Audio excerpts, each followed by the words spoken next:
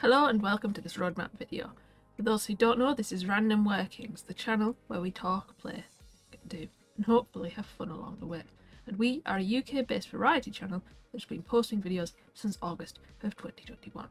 Our current roadmap should be appearing in August of 2022, which is year 2, week 1, and last time we taught was in March of 2022, which was year 1, week 31. Our latest channel analytics has us at 12 subscribers, 522 public videos and clips, and viewers have watched another 49.9 hours of content. In this video, I will be informally covering general channel news alongside minor and major changes to content and the channel as a whole. Uh, hopefully, I will manage to do this without putting you all to sleep. If it wasn't obvious, I will point out this is a scripted recording primarily to keep me on track, but also to make sure I don't forget anything. Hopefully everything comes across clear, but don't be afraid to leave a comment below, and I will answer any reasonable queries as soon as possible. Let's begin. So, what's gone on the news? This is just a quick run through of what has happened between the roadmaps in regards to channel series and events. There are no ongoing on ongoing upcoming or planned events aside from the uh, one year celebration video, which you should have had before this roadmap. Um, even if it's only 9 minutes long, it's still counted as a video, so that's why the Hidden Folks uh, episodes that would have been today have been moved back a week. Series wise, the Bits pathway, which is what this roadmap is part of, hasn't had any changes uh, to series. Uh, Makes hasn't seen any changes, although I potentially have a planned item coming up. Um, more on that later. Does saw miniature painting uh, kind of go into hiatus on week 45, episode 29, in part because I was struggling with getting camera set up and also because one of my uh, tools was misbehaving to a level where it was making things very difficult. Plays has the most that's gone on. Uh, Deathloop uh, ended in week 48 at episode 53. That was our longest running one besides PUBG. And the first one where I finally I went straight, the main one that allowed me to develop so much so far. Uh, Among Us uh, ended in week 37, episode 20. That was just a small, a small series based on events that happened at Christmas, but it may come back, it may not. So for now, it's on hiatus. Hidden Folks, which I mentioned uh, a little while ago, started at week 50 and is currently at episode 6. Episode 7 8 will be next Monday. It's like I said, they push got pushed back because of the one year celebrations. There are some planned future plays ones. At the moment, I'm looking at uh, Hard Space Shipbreaker, Dark Souls, and a few other puzzle games to come along and fill in some spaces. Random Workings is now a year and a bit old. I say a bit because there were about two or three weeks uh, during which I was getting the channel set up and plans in place. So that was when things like the feature video first came out, or the first version of it anyway. Uh, is the channel going as expected? Pretty much. Um, I have said this in previous videos, but I'm going to say again. I didn't do this channel to get viewers. I'm not a fa It's not a fame thing. That was never my primary goal. The whole thing is sort of a memory vault um, with a few added portfolio potential bits, but uh, if it brings about enjoyment for other people, that's a big bonus.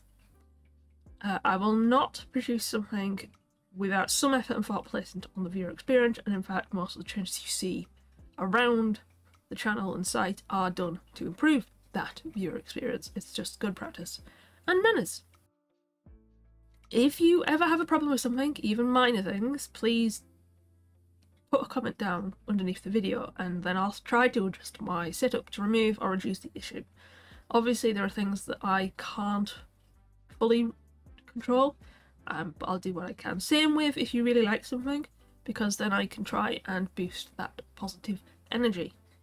Please do not promote things in the comments section uh, unless you ask permission first. I will remove such things regardless of how uh, some people say that leaving comments improves the uh, algorithm for getting viewers. Uh, I don't want these things, personally, and I don't want viewers hounded by ads, uh, especially through a communication method that I have at least some control of, I don't put ads into things, that's a YouTube or copyright holder thing. Am I still having fun with this project? Yes. Am I still learning new things? Yes. Do I sometimes choose to make things much, much harder for myself with projects such as the compilation video? Yes. I will probably never stop doing that. Um, I get really into grand designs uh, without much thought into the actual implementation, specifically the time and energy needed to actually realise the design. Um, I also easily feel compelled to finish what I start, uh, especially if it feels like a promise to other people, regardless of whether or not that adds more stress and potential impact to other already scheduled items. Experience might help me uh, remedy this, but due to the infrequency of these issues, only time will tell. Now, the infrequencies are due to the fact that it actually takes me quite a big reason for me to fully get motivated in almost anything. One key development hurdle I face is the need to be braver. By that I mean I need to allow certain things to happen and accept that other things will happen. So firstly, I need to change things. I need to stop saying we rather than I. Uh, we was meant to sound inclusive, but it's just me making the decisions. There is no other team uh, members. There might be like external people who I ask for uh, help with reviewing video, um, but it primarily acted as a sort of escape mechanism for me. You know, a, a distancing tool to say I'm part of this, but also not the front of it. Um, but I need to start saying I am the front of this. This is my responsibility. Uh, I need to start uh, allowing for more periods of silence and also talking to myself. Silence lets people zone in and out of, of, of um, zone into the videos, out of just out of it if they're trying to do something alongside me, and also makes easier crop points. Although if I'm playing a game and it has background music, these crop points may get a little fuzzy.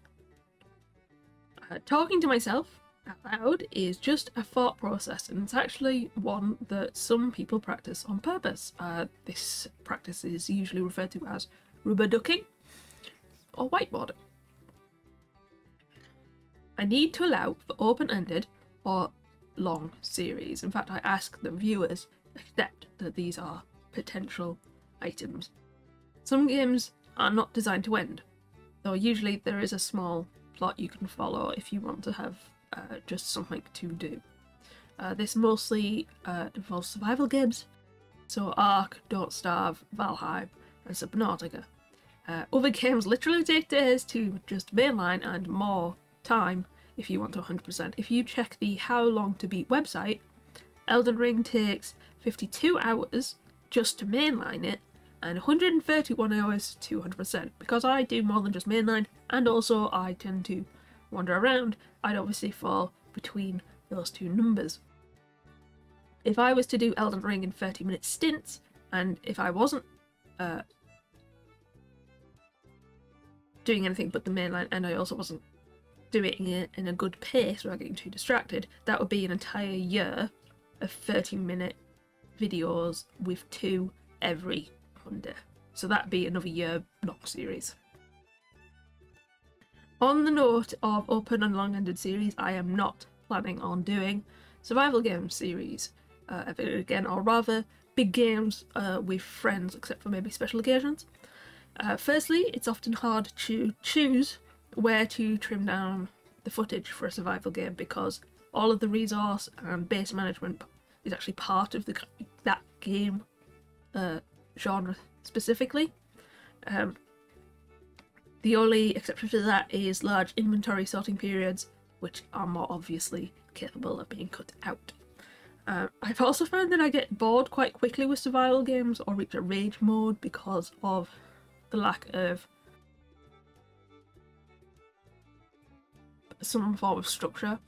Um, so the rage period is when my expect- expectations of what I should have or be able to achieve at a set point doesn't match what I'm actually able to achieve. So in Ark, for instance, uh, regardless of my level and my gear, any dinosaur I come across seems to beat me up quite easily. Um, the other issue, the reason I said not with big uh, games with friends is because conversations happen. Now, what you might find is that I'm doing something that you may consider boring, and then my friends uh, talking about a fight with a dinosaur they're having or have just had. So you get this cool sounding adventure with a boring front thing. So it kind of gives you a, uh, a desire to go do that, which also makes me want to go do it, which also can lead to me uh, not progressing as well as I could.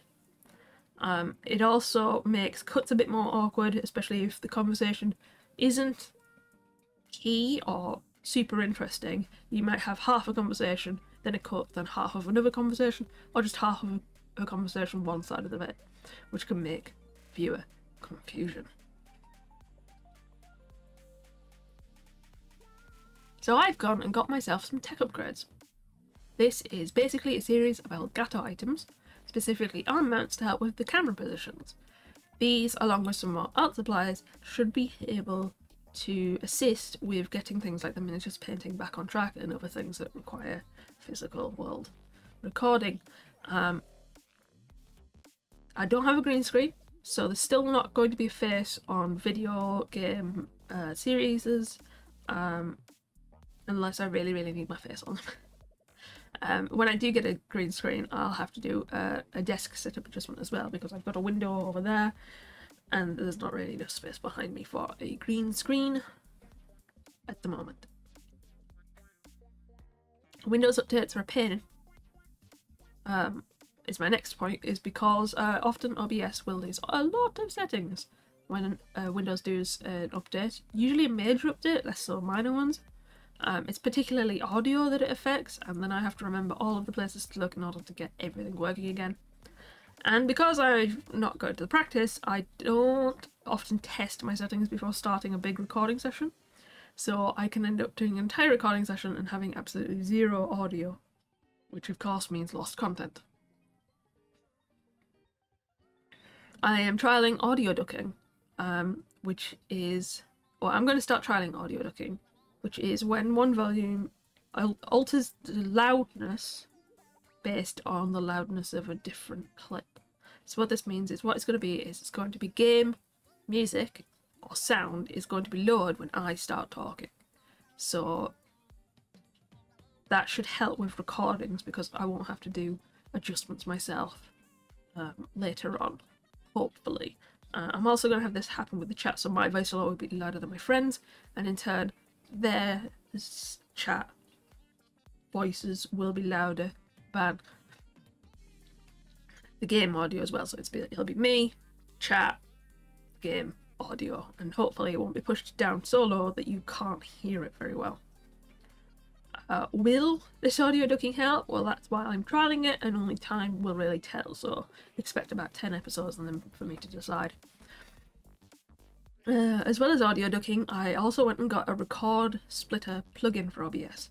So this uh, automatically takes 30 minute chunks of recordings, um, which uh, helps me keep file sizes down and hopefully eases output and content creation. So what it does is I think it I think it simulates me clicking the button to stop and then start the uh, recording um, itself. What this means, however, is there's a small blip between the recordings of about one second during this toggle phase. So on a combat game, or really big games uh, with lots going on, that might not necessarily be a problem, um, especially if it happens to sit in the right place. I say happens because in a big recording it might not happen at the right time. But this blip can have trouble with puzzle games. So um, there's one in the Hidden Folks game when I started using this where I think I might have just as they missed out on me spotting a person and clicking it. Um, which is slightly annoying because it means that that piece is missing. Um, another problem with this blip is that it's not really big enough to warrant putting a transition in because putting the transition in will actually cut off more either side. Um, even a small amount, like I said. Not so much on bigger ones, but it's a bit annoying on puzzle games. And it also doesn't make sense to have a one second blip covered up with a transition because it's literally almost the exact same scene going on between the two. Uh, OBS version 28, which is currently in beta, um, and should fully come out maybe in two or three months, is actually going to have an inbuilt split inbuilt splitter function. Uh, how this works, I don't know. I'd have to do more research. If it does the same thing as the plugin, I'll still have that one second blip. If it does something else, don't know what, I could end up with much smoother and less obvious transition points. Uh, we are continuing with visual updates as well. Uh, I've updated the start cards, content warnings, and notices, uh, primarily as a further declutter to ease information dispersal during small windows of viewing you get for these ones. So start cards are only about 8 seconds long, content warnings and notices are usually about 10. Uh, one of the biggest changes you'll see is I've taken off the randoms off the front of the start cards. Um, this is in part because it was actually quite distracting, but also because I was actually ending up putting more randoms on. Uh, I think there's one schedule where I've actually gone up from the original 8 to about 12. And this is because I made more emotions and was like, oh, I've got the emotions on the front. I should put all of them on there. And it basically became more cluttered, so I've removed them. I've increased the size of information shown, and um, uh, I've tried to make it so there's only four items you need to focus on on the start cards. What the series is, uh, what type of series it is, the episode number, and then the age rating. Uh, contents warnings follow with a contents warning page, and the notices are just the contents warning without pre-set stuff. Uh, I've also added key information to the start card, such as a little series finale blip, um, and improved things like the stamps I use on the scheduling. Um, another visual update is that I have added a fast forward graphic. Now this is an on-screen overlay, um, I might put one now, uh, even though I won't be fast forwarding. Basically, I'm not going to fast forward beyond 200%, but this is to show you that I am fast forwarding. The reason I'm going to stick to a limit of 200% or times 2 is to stop visual and audio issues becoming too extreme. If you've watched PUBG, uh, where I've done speed ups and also been on a motorbike, you'll notice there's a very annoying pitched um, sound from the bikes. Uh, another reason to limit it to 200 is actually it's easier for viewers to readjust those areas to watch normal speed, uh, because you only have to watch it at half speed or 0.5, and also it makes compilation grabs easier. This is primarily true about the fact that if I went to 300% speed, which is quite fast, it's actually very hard to then pull it back at a later stage because you've got to turn it to 33.333 recurring percent in order to actually be perfectly back. And obviously, recurring means it never ends, so it'd actually be somewhere about three, three, four, I guess, to stop it, or three, three, three, and then just say no more after this, which means it's not exactly accurate. Okay, something I hinted to earlier is in the news section is some series ideas. So I will be doing Dark Souls soon, I promise! I've been promising that since day one, I think. Um, but I am probably going to pad out the time, with some other small puzzles like Hidden Folks, A, to get my backlog a bit free, but also to give me some time to get some actual episodes ready. The puzzle games may also become the second video to fill the does day or Thursdays, um, so that I actually have a full schedule during the week of two videos a day. Um, that is, of course, dependent on if miniature painting comes back straight away or if I again use puzzles to pad out that while I make miniature painting backlogs. Makes wise, I'm looking at doing a coding series. Now, I'm doing a coding series, not a programming series, because coding series lets me include web design because programming is coding, but coding is not programming. It's to do with logic involved. Um, this coding series would be the second Tuesday video, so you'd have graphics in the morning followed by coding on the afternoon. Uh, this is potential, like I said, but I really like the idea of doing coding, so that's why I'm going to do that. Um, a thing on the Ark series uh, I'm going to probably get quite salty in it because I do hit a rage period. Um, but I'm still going to keep going for the, at least the last couple of, uh, the last episodes. But there's actually, based on record time, about 27 more episodes. Um, it'll be less with tailoring, which is about 15 more weeks of content. Uh, and with that, I think I've covered everything I had planned, um, or at least that's what my script tells me, which means it's time to say thank you and goodbye. And you know what? I might as well stick that compilation video from earlier in here as well. So please enjoy that. Bye now.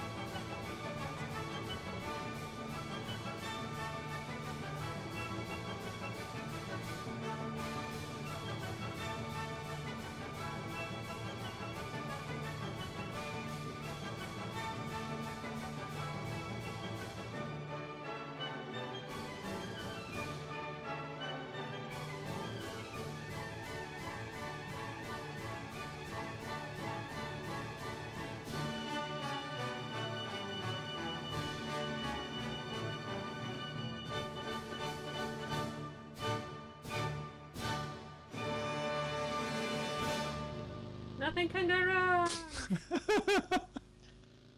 Whee! Oh my. Wow. Oh my god. quite wrong. I don't know what you're talking about.